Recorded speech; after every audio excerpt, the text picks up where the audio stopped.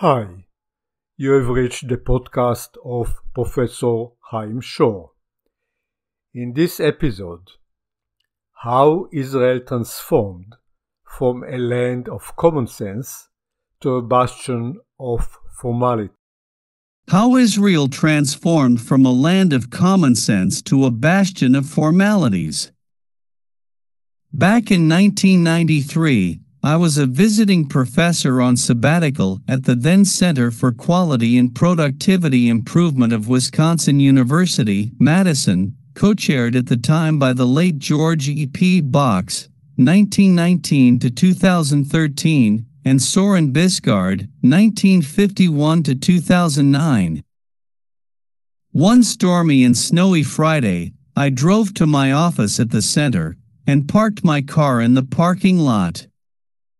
On Friday mornings, the offices in the building, where the center was located, were mostly empty, and so was the affiliated huge parking lot.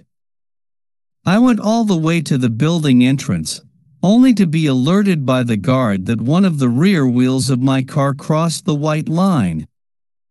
I was politely but firmly requested to repark properly. Grumblingly, I complied. Later, I thought at length about this incident. It was clear to me that such could not have happened in Israel, the seemingly lawless country where drivers routinely cross parking lines, even when this may deprive someone else of a scarce parking space. It was also clear to me why such an incident could have happened in the US, but probably not in my home country. With the large-sized population that the U.S. is, no law and order could have been maintained unless all members adhere strictly to the democratically formed laws and regulations. And to ensure that strict enforcing of the law is needed and indeed exercised, even when occasionally it contradicts simple and straightforward common sense, as was the case with my ill-fated parking. Contrast this with my home country, Israel. With its relatively small-sized population, where everyone knows everyone else, Israel has until recently been a land of common sense and personal responsibility, where state regulating of human interrelationships was scarcely needed, just as no formal laws are required to regulate relationships within a healthily managed family. The void created by absence of formal regulations for human interrelationships had been filled, in the just-born Israel, by simple and straightforward common sense and a strong sense of personal responsibility. These, I believe, later provided some of the infrastructure for the pop-up of the startup nation. Another example, still current, for the distinction between the two cultures slash countries, stemming in my judgment from the same source, population size and other sources, soon to be elaborated on, is personal profiling at airports. While strictly forbidden in the U.S., Israel Airports Authority, with relevant governmental security agencies, have analyzed real data to ascertain what characterizes a potential terrorist and accordingly has developed a system of personal profiling that delivers unequal treatment to people boarding a flight. Common sense, supported by evidence provided by statistical analysis and expert opinions, has again gained upper hand while defying an accepted norm. All human beings are created equal, often reflected in the formality of the law. Those times, when interrelationships among members of the Israeli society were regulated by common sense and personal responsibility, those days seem to have changed dramatically in recent years. For me, personally, this was brutally and suddenly manifested some years ago when the Knesset, Israeli parliament, passed a law that required employers to provide chairs for employees, serving at exit payment counters. That such a law was needed was for me a source of great sadness and disappointment. and the start of a thought process regarding the transformation that Israel is being currently going through. How has this happened? How has Israel transformed from a land of common sense and personal responsibility to a fortress of formal law and regulation? There are four sources for this transformation. The first turning point, I believe, was the judiciary revolution, implemented one-sidedly by the Israeli Supreme Court, starting in the early 80s of the last century. Probably the immediate trigger for this revolution was the loss of trust on the part of the Israeli public in the ability of its leadership to provide personal security, namely, taking correct decisions facing the active animosity of Israel's neighbors. With the disaster of the Yom Kippur War, 1973, and later the entanglement of the IDF in Lebanon following the First Lebanon War, 1982, loss of public trust in Israeli leadership created leadership vacuum, into which the then president of the Israeli Supreme Court stepped, implementing gradual historically well defined changes that drastically shifted the balance of power between the legislative and the judicial branches of government. Good reviews of these developments have been recently delivered by Tel Aviv University law professor Daniel Friedman and by radio host Yoram Sheftel. Find links on haimshore.blog. Concurrently, with this rebalance of distribution of power, various new legal concepts started to emerge which have migrated responsibility for interrelationships amongst members of the Israeli society from the personal sphere to the formal comfortable environment of the court of law. Time-honored concepts, representing recognized violation of the law, like rape, stealing and bribery, via transfer of money, have been enormously expanded in the form of new ambiguous concepts like sexual harassment, deception and breach of trust, traditionally considered to reside in the realm of morality-oriented human relationships. Possible deviations from accepted social norms suddenly could find repair, not in the realm of personal responsibility, human interrelationships, and common sense, but rather relegated to the judicial system, where loosely defined concepts could unrestrainedly and loosely be implemented in order to bring individuals before a court of justice. An overriding term in this new world order is Hakol Shafit, all is judgeable, namely, any issue can be brought before the Supreme Court. To appreciate the severity of this development, the shift from personal responsibility to the dominion of state law, one needs only view Israeli news bulletins on main Israeli TV outlets. One often sees individuals being interviewed, with face covered and voice distorted, spewing out personal recriminations against other individuals.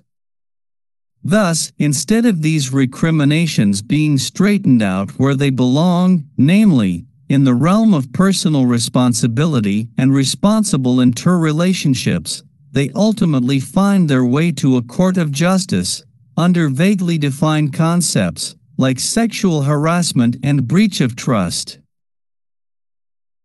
There is another deeper source for the transformation that the Israeli society has undergone, escaping from common sense and personal responsibility to the safe and reassuring warm shelter of the formalities of the law.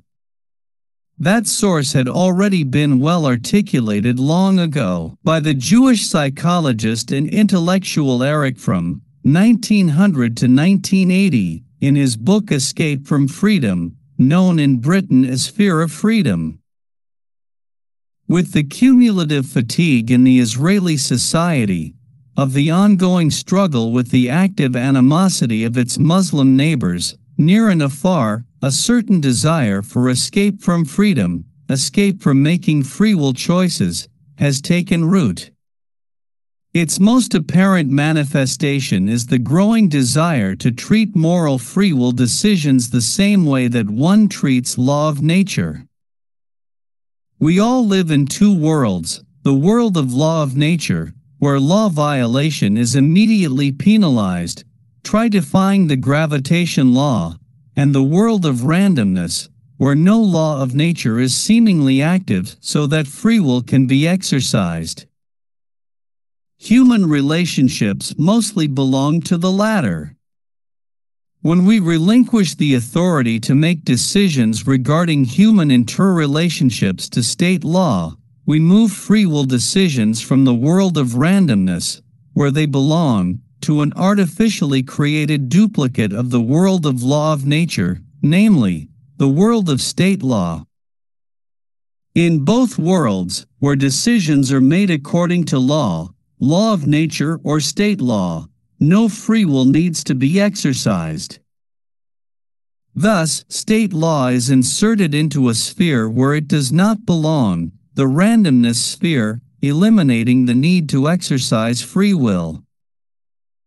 How convenient and comfortable, in the age of smartphone and the fading need for personal contacts, how convenient to treat human relationships and personal moral decisions as though they are subject to some law of nature, only this time in the form of state law. Escaping into the shelter of state law and regulation, where someone else makes decisions according to how much the latter have been violated, this transition into escapism has transformed the Jewish state from a land of common sense to a bastion of formalities. Personal morality, free will, and common sense have been substituted by state law. There is a fourth dimension to this transformation. Besides the judicial revolution, the fatigue generated from the animosity of Israel's neighbors and escapism from free will, as these were addressed earlier. That dimension is historic.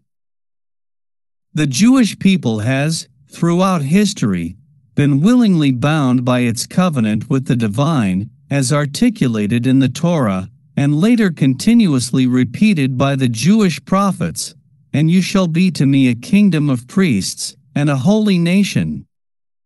Exodus 19 verse 6 You are my witnesses, says Jehovah, and my servant whom I have chosen. Therefore you are my witnesses, says Jehovah, and I am God. Isaiah 43 verses 10 and 12. A dramatic change has occurred in the 18th century and later, with the Enlightenment movement in Europe that emphasized reason and science, and with the Jewish emancipation, when Jews finally were recognized as entitled to equality and to citizenship rights.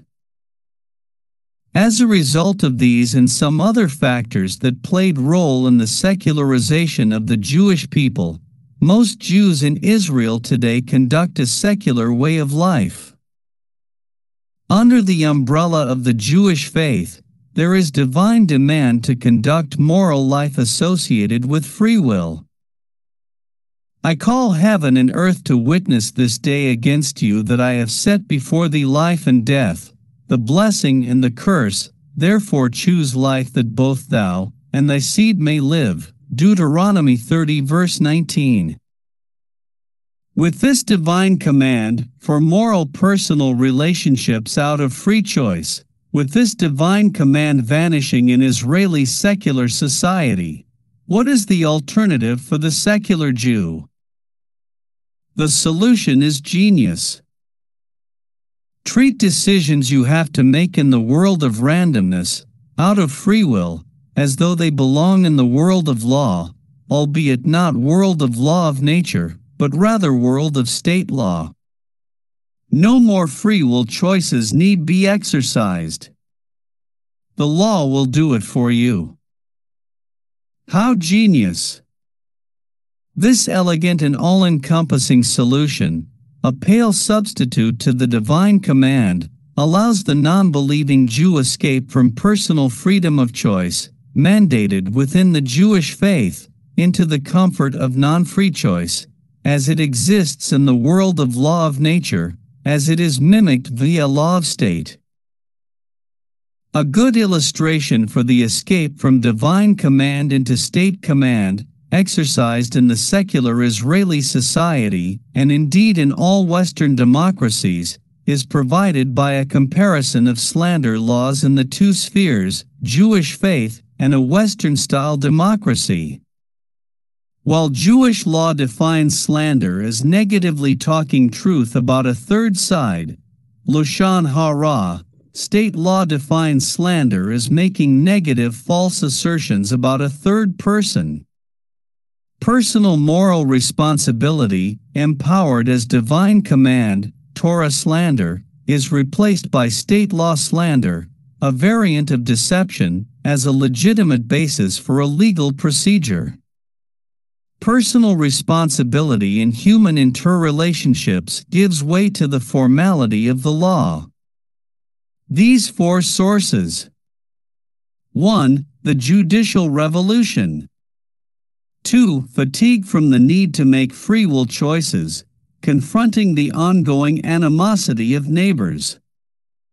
3. Resort to escape from freedom.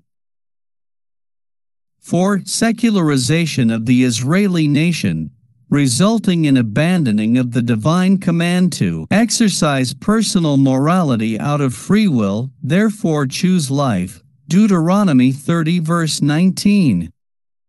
All these developments have transformed Israel from the land of common sense and personal responsibility it once was to the embodiment of state law formalities that Israel, to a large extent, currently is.